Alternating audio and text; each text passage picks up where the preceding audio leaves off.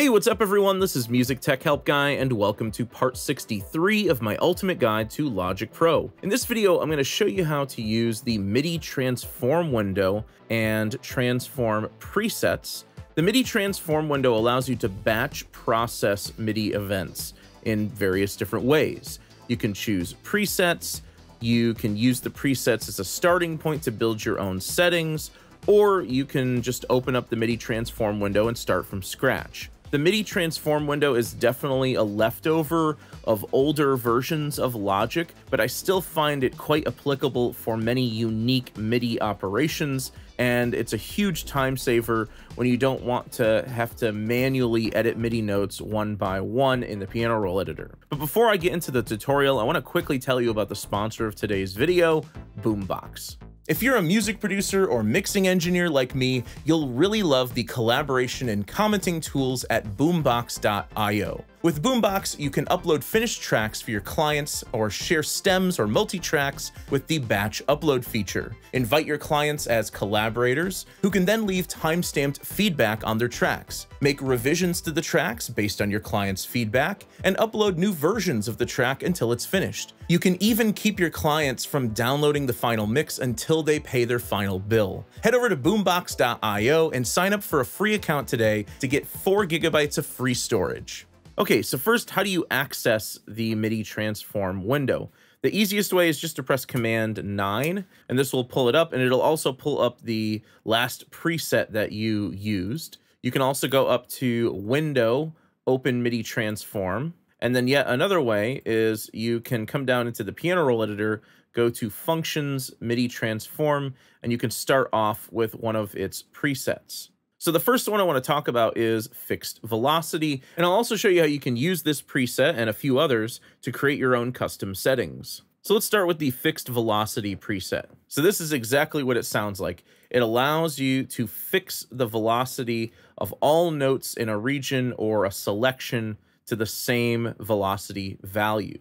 So the way that the MIDI transform window works is you have various MIDI conditions at the top so these will select events by the conditions.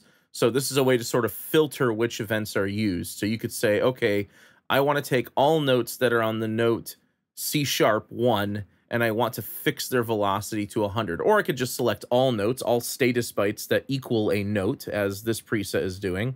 And then the operations on selected events down here is the actual operation that's being applied to the selected notes or the selected events. Now, most of these are going to be hidden when you choose a preset. It only shows you the parameters that you actually uh, need to see. But if you click down here, you can select or you can unselect hide unused parameters, and it'll show you all of the parameters. So if I just use the preset fixed velocity, I'll go ahead and hide those parameters. This says select events by conditions. The status is equal to a note. So it's saying it's only going to select notes. And all of those notes, we're going to fix them to a velocity of 100. Now you can double click, you could type in another value, maybe 80, maybe 127, whatever you want. And then what you do is you select the MIDI region and you can choose to select the notes. So it'll just show you the notes that it's applying this operation to. So it only selects them. You can choose to operate only or select and operate. So if I choose select and operate, you'll see that all of the notes have been conformed to a velocity of 80. If I want to pull that up a bit, maybe 120. And again, it selects anything that's a note in this region and fixes its velocity to 120. So why have an option for select only and operate only? Well, if you want to select just certain notes to apply this operation to, you can do that. So I can just select these notes here and then click operate only, and it'll only apply this operation to those notes. So all of those notes have been conformed to a velocity of 120. Or I could select the key here on the uh, keyboard in the piano roll to select all of those kick hits and select operate only, and it only applies to those notes. Now, another way to do this is you can set different conditions. So if I go and unhide the conditions, I could say I want to apply this to notes that have a pitch that is equal to this kick drum, which is A1. So C1's down here. A1 is up here. So what I could do is I could say, okay, I want to apply this to notes that have a pitch that is equal to, and then I type in A1. So now I can click on select only, and you'll see it only selects those notes that are in A1, and then I can apply the operation. Why would you want to do this? Why not just click on the notes or select the notes? The reason is when you're working in large MIDI projects, sometimes it's easier to just select multiple regions and apply an operation to multiple regions rather than opening up each region and selecting the notes that you want to pick. So in some ways, when you're again, when you're trying to batch process MIDI events, the MIDI transform window is super helpful. Now, what I could also do with this preset, if I just go back and reload that preset, I could create a new setting where maybe I want to set things to a certain velocity range rather than a fixed velocity. So let's close out that drum beat there. And I'm going to move up to this piano track. And in the piano track, I've got, you know, I've got, it's not a wide range of velocities, but it's a range of velocities. And again, if I pull up that fixed velocity preset, and this time, if I change the operation from fix to range, I can set a range for the velocities. So let's say I want this to be quite a bit softer, maybe between 30 and 70. I can select all of those notes either by clicking select only or by just hitting command A in the piano roll editor and then click operate. And now the range of velocities has been lowered to 30 to 70. Now I think most of these velocities were already over 70. So it looked like it fixed them all to like, I think 70 was the value but maybe I'll go with something higher, maybe like 60 to 85. Like I want a really narrow range, but I do want some, you know, velocity variation. I could do something like that. So I've got some notes that are light green, some that are dark green, but they're all within this 60 to 85 range. So this basically functions like a velocity minimum and maximum limiter. It sets a limit for the minimum velocity and a limit for the maximum velocity. Now, you can do this with the uh, Velocity Processor MIDI effects plugin as well, but this is another way to do it and affect the actual MIDI data. Now, if I think to myself, okay, this is all right, but maybe I want it a little bit louder, maybe like 10 or 15 velocity values louder, I could change this from range to add, and now I can just type in, you know, 10, 15, whatever I want, select all of the notes, operate, and now I've added 15 to all of those notes. Again, you could do that here with the velocity slider, but this is a way to batch process. And you again, you can batch process multiple regions at the same time. You just have to select all of those regions. You can also randomize values, and I just set a range for the randomization. So maybe I want this to be random between 50 and 80. I can select and operate. And now I'm getting a random selection of velocities if I wanted that to be a much wider range, I could maybe set this to 40 to 100. Again, select and operate. And now I have a wider range of random velocities. Likewise, if I wanted only certain events to be selected based on velocity, I could unhide my parameters and I could say all notes that have a velocity that is less than or equal to we'll say 60.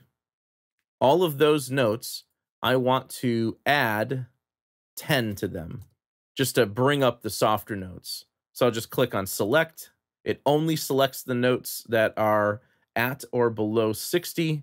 Then I can apply that operation to only those notes. Likewise, I could say notes that are greater than or equal to 90. I want to subtract seven or eight from these. So I click select, it only selects those notes that are above 90, and then I can apply the operation to those notes. There are also various different randomization presets up here. You can randomize pitch. So you can just create completely random pitches. You can randomize velocity, as I just said. You can also randomize pitch, velocity, and length if you want just uh, you know, complete uh, aleatoric music for some reason. Um, so some of these presets I don't really use uh, too much. The crescendo function I also don't use very much because you have to set a uh, position, like a range for the crescendo, and I find it just easier to use the uh, velocity controls here to create crescendos and, and diminuendos. So I just find it much easier to do it here with your mouse rather than trying to do it with the MIDI transform. Double speed and half speed, I don't really use these either because if I wanted to double speed or half speed a region, you can simply just use the trim tool, hold option, and you can bring things in, bring it out, and you can shorten or lengthen MIDI recordings in any way you like. Uh, again, some of these presets are leftovers of a time when Logic didn't have these sort of intuitive functions. So again, I don't really use the crescendo, double speed, or half speed functions at all. Now, one function that is kind of cool is the humanize function. So let's say you have a MIDI recording where the timing is, you know, completely locked into the grid. In fact, let me go over to the to the drum beat here. So this is all completely locked into the grid. Let's say that all of the notes are the same velocity and everything's 100% quantized to the grid. And you know what? Let's even make the note lengths the same. Um, you can do this with the MIDI transform window as well. You go to functions, MIDI transform, and you pull up the fixed note length preset, select all of the notes, set what you want the length to be fixed to. Remember, this is bars, beats, divisions, and ticks. So one division here is going to be a 16th note. If I hit operate, all the notes are going to be a 16th note in length. But let's say you want to do the opposite of that. You want to give this a bit more of a human quality. There's a preset in here called Humanize. And what this does is it randomizes the velocity plus or minus 10. So all of the notes are going to be shifted up or down at random by 10 in terms of their velocity. Also, the length of the notes will be randomized plus or minus 10 ticks. And the position of notes will also be randomized by plus or minus 10 ticks. Now, let's say that I don't want to mess with the length. All I have to do is click here and set this to through, and now the length will no longer be affected. Maybe I want to randomize the velocity a little bit more. Maybe I want to randomize the position of the notes a bit more. I can pull up or down those values. I can select them and operate, and you'll see that all of the notes had a slight randomization applied to them to better humanize the recording, just to make sure that the recording isn't perfectly locked into the grid. So I use this a lot when I'm typing in my MIDI sequences and I just want to make the recordings just sound a bit more organic, a bit more natural. A big pet peeve I have with Logic is that there's no uh, note end quantization like you have in Pro Tools. Like in Logic, you can quantize the front end of a note, but you can't really quantize the back end of a note, at least not with your normal time quantize features. However, you can use the MIDI transform window to do this.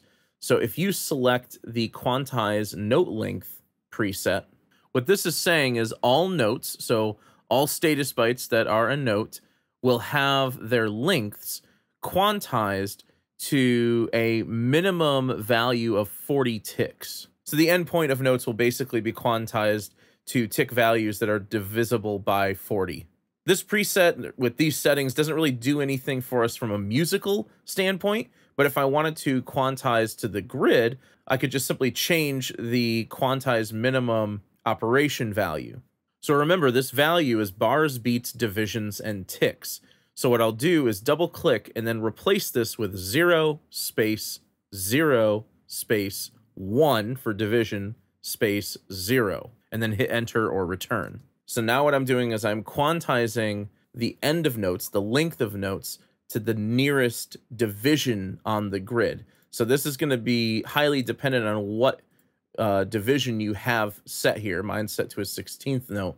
So when I hit select and operate, it's going to quantize the end of each of those notes to the nearest division, which again is a 16th note for me.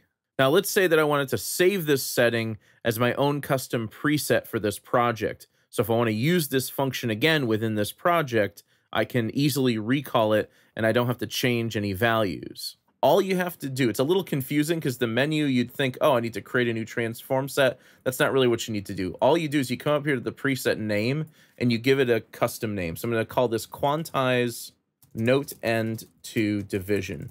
And one quick thing I want to point out here is this really isn't the note end quantization. This is really note length quantization, just to be very clear, because that's the function here, length, not note end. So what we're doing is we're quantizing the length of notes to the nearest division, although functionally it does the same thing. It quantizes the note end as long as the note start is also quantized to a division.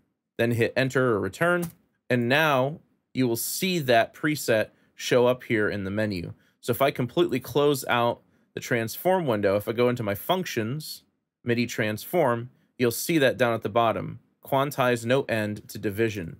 So now what I can do is go into any other MIDI recording I like, select the notes, pull up that preset, hit operate, and I'm done. So I can easily quantize the end of notes or the length of notes to the nearest grid division. Now, the only caveat to these custom settings or presets is that they are not global. So while they will be saved in the project you created them in, they will not carry over to other Logic projects. You can also use the MIDI transform window to convert other types of MIDI data, not just notes. So, for example, I have some modulation wheel automation here. And let's say for some reason I need to convert modulation wheel over to another MIDI CC. Maybe I want to convert this over to CC11 which is the expression pedal. What you can do is you create a new transform set. Just click create. This is basically just going to go back to the default setting with, with no uh, parameters pulled up. And what you have to do is define the conditions and then the events. So you do this with the status byte. Remember, the status byte defines the type of MIDI message. So I want to affect MIDI notes that are equal to control, that's control changes. I want data byte 1 I want to affect control change messages whose first data byte is equal to 1. Now remember, modulation wheel is CC1, so that's where that first data byte comes from. I want to convert data byte 1 from 1 over to, you fix it, to 11. So what that's going to do is it's going to only select CC data that has a data byte value of 1, so mod wheel, and we're going to fix it or change it to CC11. So now when I go and look at CC11, you'll see all of that automation that I drew in with the modulation wheel is now being applied to the expression pedal. So if you've got a synthesizer where you know, maybe you played in a certain automation and it works really well for modulation wheel on one instrument, then you change the instrument and it's some other CC in another instrument, you can easily convert those CCs and do it permanently. Now you can still do this probably a little easier using the modifier MIDI effects plugin, but this is a way to physically do it within the MIDI region and not rely on a MIDI effects plugin. All right, so that's a quick flyover of the MIDI transform window in Logic Pro. There's obviously a lot more you can do with this thing. It's really all up to your imagination and uh, what, you know, values you want to affect. You know, what conditions do you want to apply to MIDI values and what operations do you want to apply to those selected values.